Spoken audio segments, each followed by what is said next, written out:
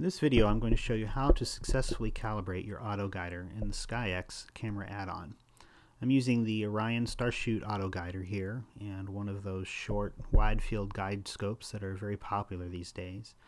I've taken a 4 second uh, image with no subframe just to evaluate the field and look and see if I have enough stars at this exposure time and I can see I, I do have some stars here to pick from. And we're looking for two things here. We want a star that's sort of by itself and we need a star that's not saturated uh, for best results. So I've, I think I found one. I'm going to draw a subframe around it and take another exposure the same length and uh, evaluate that and take a look. There it is, and yep, one little star by himself, um, not saturated, so that's that's very good. Note here I'm using direct guide uh, on a Paramount for this video. I could also use the guider relays if I had a cable connected from the camera to the mount. Now the calibration distance is different. If you're using direct guide, the calibration distance is in arc seconds, and if you're using relay cables, it's not really distance, it's time, and it's actually in seconds.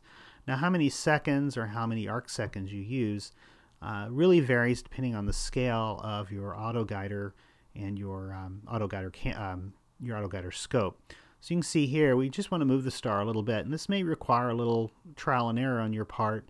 Uh, you don't want the star to move too much within the frame, uh, but you need it to move enough to where it registers as some motion. You can see here the, uh, the Y component looks a little bit longer than the X component, even though it's the same distance in arc seconds, and that is entirely a function of uh, your declination and we have a successful calibration and so we're uh, we're ready to go very nice a nice thing about auto guiding with the camera add-on too is uh, it takes into account your declination so you only need to calibrate one time uh, pretty much anywhere in the sky. I don't recommend calibrating at Polaris for example uh, but we'll take into account the um, the declination and so you can you can go anywhere in the sky and successfully auto guide.